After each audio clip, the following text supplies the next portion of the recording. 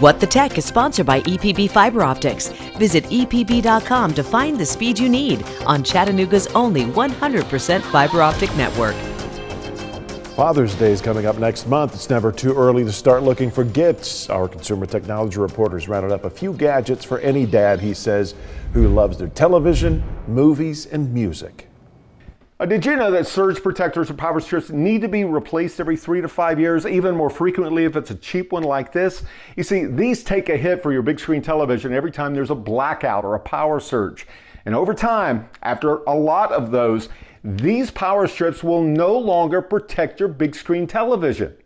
Austere surge protectors have multiple AC outlets and fast charging USB C plugs.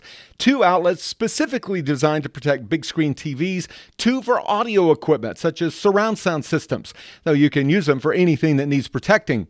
Austere surge protectors replace the outlet cover and mount flush against the wall so they look extra nice too. Surround sound systems are great, but for dads or granddads having trouble hearing what people on TV are saying, just making the sound louder doesn't work. The Zvox soundbars make movie dialogue easier to hear and to understand.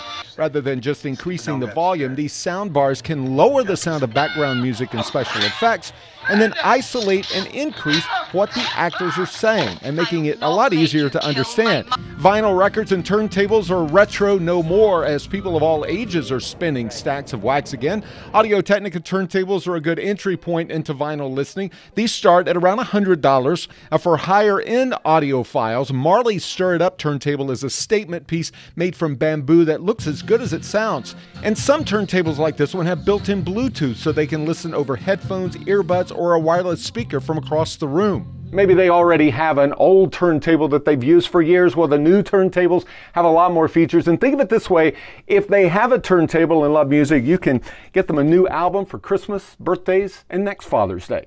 That's What the Tech. I'm Jamie Tucker.